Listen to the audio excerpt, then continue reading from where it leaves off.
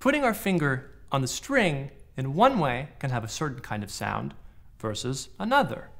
So, if I'm playing something that has slides and I want to get a nice vibrato, I want to get a full sound, I'm going to play more on the pad of the finger, more in the middle of the finger.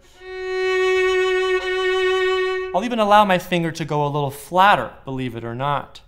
This is a coloring technique that I've learned over many years of experimentation, and it's something that helps me find my individual sound. So if I play more on the pad here,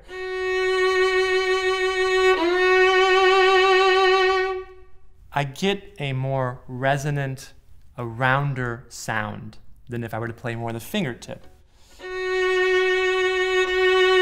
Listen to the difference between that and...